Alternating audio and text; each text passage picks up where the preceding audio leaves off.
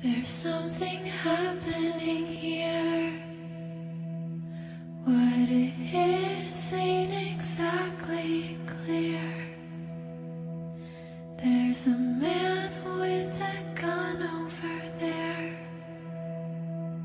telling me I got to be.